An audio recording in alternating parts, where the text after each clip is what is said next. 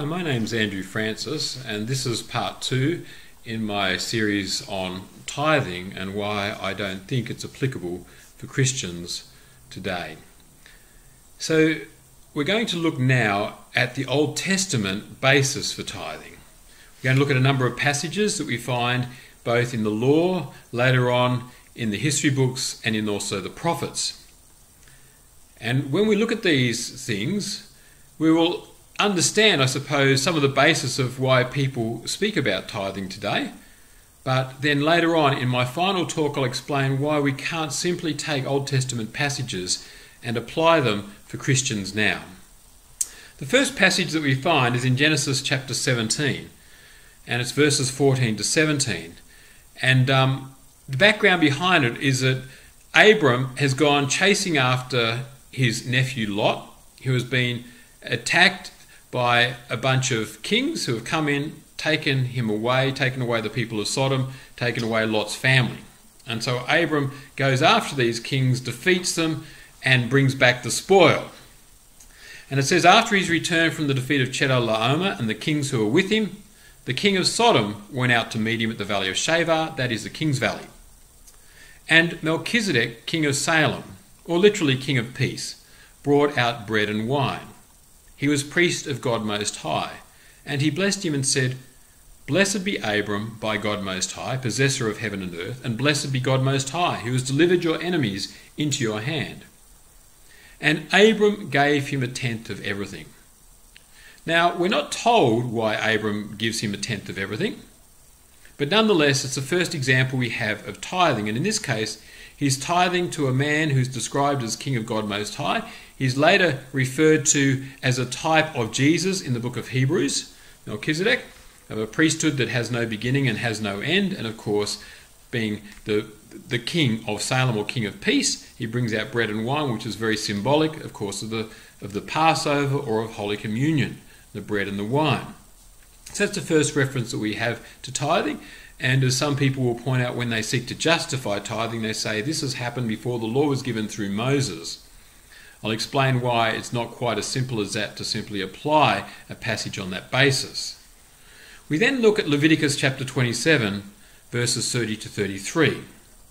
And in Leviticus, it begins by saying, Every tithe of the land, whether of the seed of the land or of the fruit of the trees, is the Lord's. It is holy to the Lord.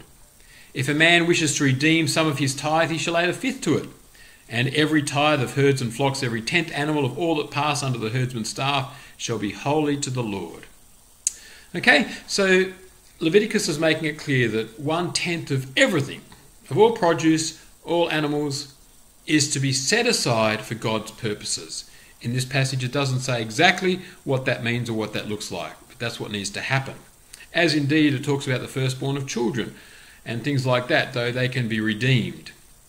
In the book of Numbers, it describes it like this in chapter 18 beginning at verse 21 and finishing at verse 32. I won't read all the verses, but I will read some of them. To the Levites, I have given every tithe in Israel for an inheritance in return for their service that they do, their service in the tent of meeting, so that the people of Israel do not come near the tent of meeting, lest they bear sin and die. So the tribe of Levite has been set aside to work around the temple, to look after the temple or the tabernacle when they're in the wilderness, that's their job. They're given no inheritance in the land. They're told to live in cities. They don't have farms to plough, etc. Or they have small lots of land, but not much. And so they rely on the giving of the people. It's like a tax, as it were, so that they can be supported. For the tithe of the people of Israel, which they present as a contribution to the Lord, I've given to the Levites for an inheritance.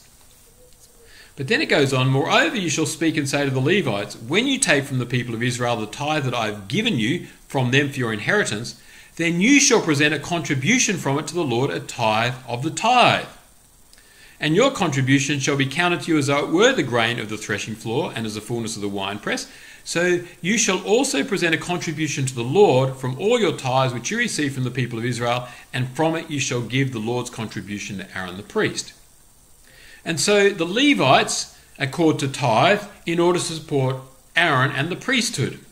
Because how else are they going to live or receive their money, their wages? And so this is what's going on.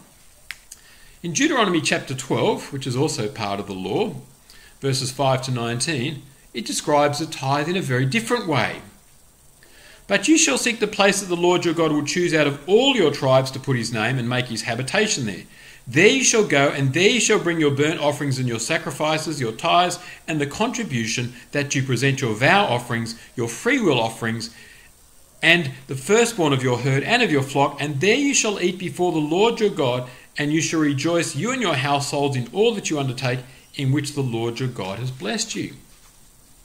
Later on in that same passage, it says, You may not eat within the towns the tithes of your grain, or of your wine, or of your oil, or the firstborn of your herd, or of your flock, or any of your vow offerings that you vow, but you shall eat them before the Lord your God in the place that the Lord your God will choose. You and your son and your daughter, your male servant, your female servant, the Levite who is within your towns, and you shall rejoice before the Lord your God in all that you undertake. Take care that you do not neglect the Levite as long as you live in your land. So, in this passage, the tithes are used, as it were, to go either to Jerusalem or where the tabernacle was, and to throw a party, to celebrate, to enjoy the first fruits of the land. The people are enjoying this themselves, though at the end of this passage it says, make sure you also look after the Levites because they don't have a regular wage or a regular income.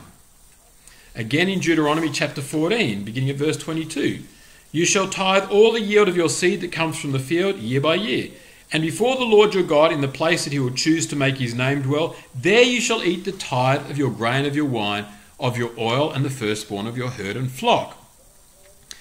But it goes on and says, if the way is too long and it's too difficult to take all these tithes with you, then sell them, use them to make money, take the money with you, and spend the money literally, this is what it says for whatever you desire oxen or sheep or wine or strong drink, whatever your appetite craves. This is a party. That's what it's describing again. They will have a celebration. In some ways, this is a beautiful expression of what we look forward to as Christians in the marriage supper of the Lamb, when we join with Jesus at the marriage supper of the Lamb and we celebrate together.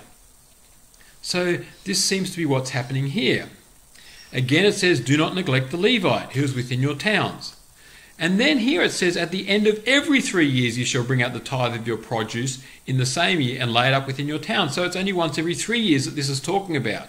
Now, whether the other two years is to give to the Levites in, in particular, and there's one year that's for this party, I'm not sure.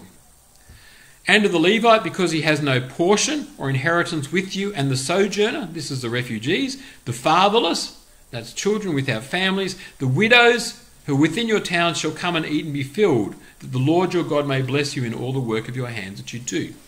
Again, take this wonderful time of partying and spread it around a little bit. Share it, share it with others who are not so fortunate, who don't have the resources that you have. Beautiful expression of God's love. Deuteronomy chapter 26, verses 1 to 15. Again, I won't read it all. But it says, when you have finished paying all the tithe of your produce in the third year, here we have the third year again, which is the year of tithing, giving it to the Levite, the sojourner, the fatherless, and the widow, so that they may eat within the, your towns and be filled. Then you shall say before the Lord your God, I have removed the sacred portion out of my house, and moreover I have given it to the Levite, the sojourner, the fatherless, and the widow, according to all your commandment that you've commanded me. I have not transgressed any of your commandments, nor have I forgotten them. I have not eaten of the tithe while I was mourning, or removed it while I was unclean, or offered it, any of it to the dead. I've obeyed the voice of the Lord my God. And as a result of that, God will give blessings to the people. So there seems to be a greater talking here in Deuteronomy to make sure that you share it around, particularly with the Levite, the refugees, the foreigners, the fatherless, and the widows. Now, later on in Chronicles, we can see that the tithe is applied more in the sense of what we read about in Leviticus. And so, when Hezekiah restores the Passover and restores, make sure the priests are doing their job and gets the temple sacrifices going properly again, he commands the people who live in Jerusalem to give the portion due to the priests and the Levites that they might give themselves to the law of the Lord. This is Second Chronicles chapter 31 verses 2 to 10. And it says, "And they brought in abundantly the tithe of everything."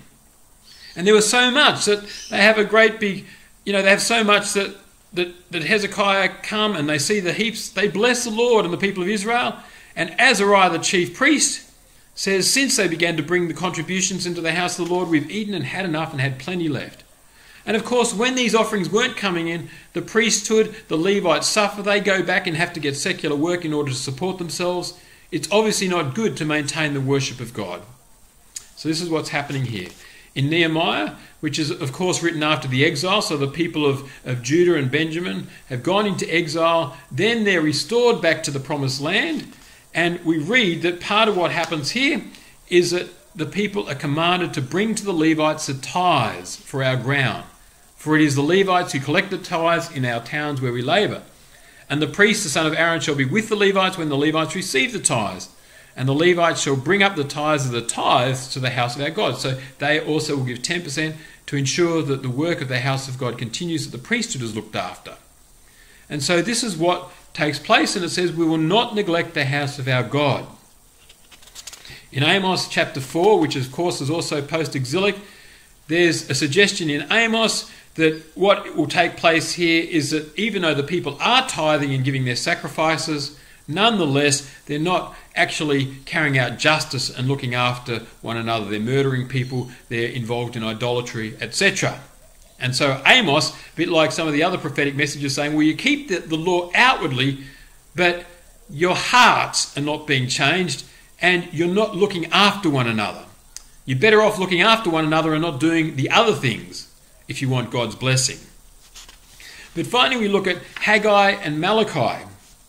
And in Haggai, the message of Haggai is saying, well, God's temple has not been rebuilt. Instead, you're making your own houses nice. You're looking after yourselves, but you're not looking after the worship of God. As a result, God is not looking after you, blessing you, and you're finding that as hard as you're working, you're not producing a great deal.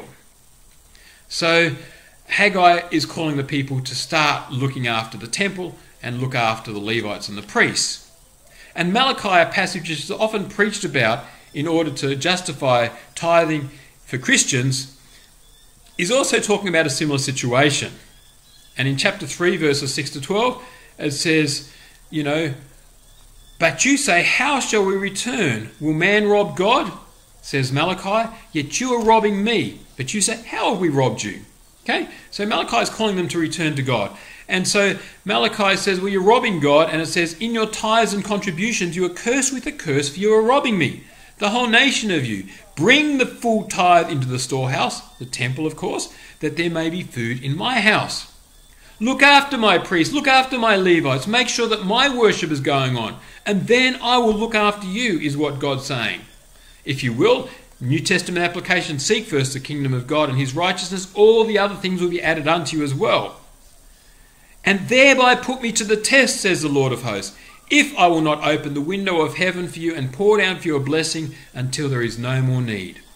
I will rebuke the devourer for you, so that it will not destroy the fruits of your soil, and your vine in the field shall not fail to bear, says the Lord of hosts. Then all nations will call you blessed, for you will be a land of delight, says the Lord of hosts. And so that's the final passage that we can look at in the New Testament. But hopefully, you get an idea, firstly, that tithing is a little bit more complex than is often being presented in churches. That's the first thing that we need to take into consideration. But secondly, tithing is all, in the Old Testament sense, about looking after the Levites and the priests and the temple so that the worship of God can take place in the way that it needs to. It's also if we look at some of the other passages in Deuteronomy about looking after the widows and the orphans and the foreigners, something that you only hear spoken about a little bit in terms of tithing, because normally it says the tithe is to be looking after the church and its ministers. And finally, something you never hear preached about in regards to tithing is potentially it's an opportunity to throw a party and to celebrate the blessings of God in our lives. And that is considered just as much a genuine expression of tithing as anything else that we've talked about. So we need to take those things into consideration as we as we look at my next talk where we look at how we apply this for us as Christians in the light of Jesus Christ and what has taken place on the cross. Hope this is helpful. God bless.